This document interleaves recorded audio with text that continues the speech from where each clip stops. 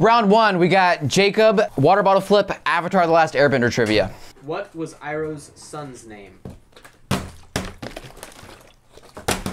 Oh. Lu Ten? Yes. That's it, yeah. Wow. One Before oh. Aang ran away, he overheard that the air nomad monks were going to send him to a certain place to continue his avatar training. Which place did they want to send him to? Earth Kingdom? The Western Air Temple? Nope. Eastern Air Temple. Yeah!